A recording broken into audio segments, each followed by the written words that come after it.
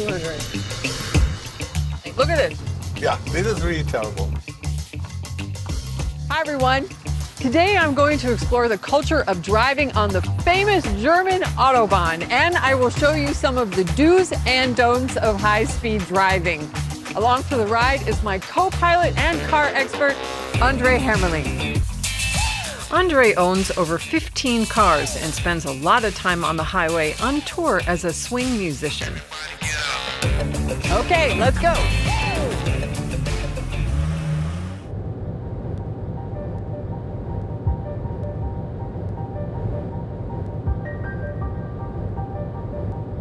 We're at three lanes.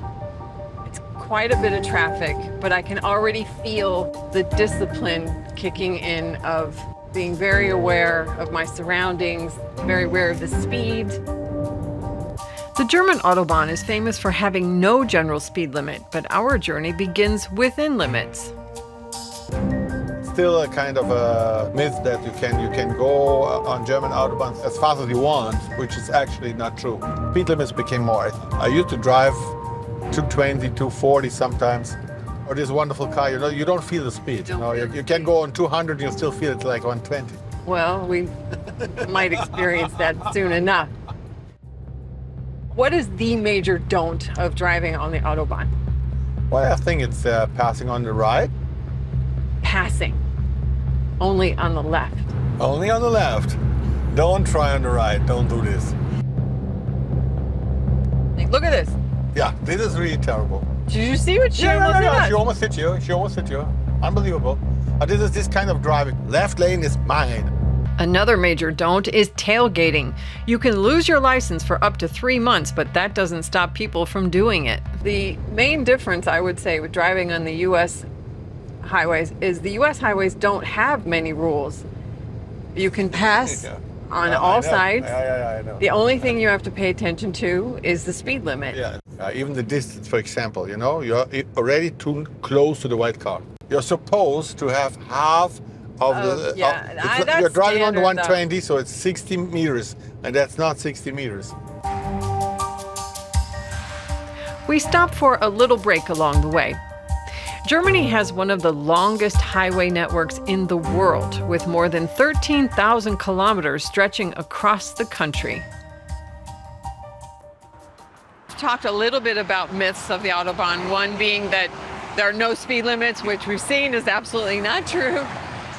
Tell me another major myth about this German highway. people are associating the Autobahn with the Third Reich, with Adolf Hitler. Of course, it's partly correct because he actually expanded it. But the idea of having Autobahn in Germany was developed in the 1920s. He benefited from it, he developed it, and it was part of his policies.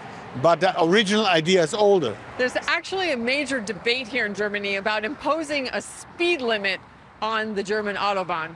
What do you think of that? Reckless driving won't stop just because of imposing a speed limit. I really uh, believe in a voluntary change of things. So it's better uh, to, to convince people uh, than to limit them. I'm for speed limit. Really. I don't understand why. Because it seems to me as if uh, speed limits are just a, a recommendation to you. I'm a good Yeah, but- driver. And I'm about to prove that to Andre as we get back on the Autobahn. oh, this is Oh, off. Now, that is Now. your chance. Okay. That's your chance. Now it's my chance. Yeah. Speed limit signs have now indicated that we can go as fast as we But want. But you've got to rush because the speed limit is coming back in a, a mile or so. Here we go. 167. 188. Yeah, You don't feel it. I feel nothing. It's not. It's not fast. 200. I'm slowing down. Anyway, that's 120 now. The fun is over. that was it. So, driving on the German Autobahn is both exhilarating and very stressful. And to tell you the truth, shh, I got cited for speeding. That's going to be costly. But, like with anything in life, no risk, no fun. See ya.